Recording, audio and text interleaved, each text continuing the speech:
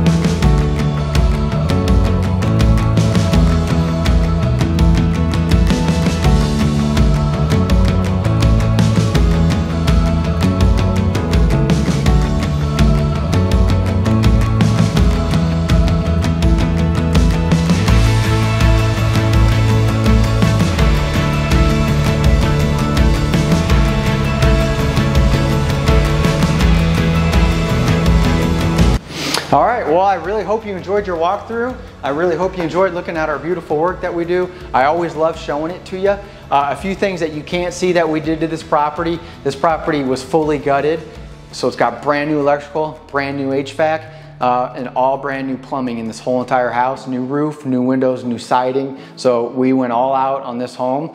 So thank you so much for watching our video and catch us on the next one.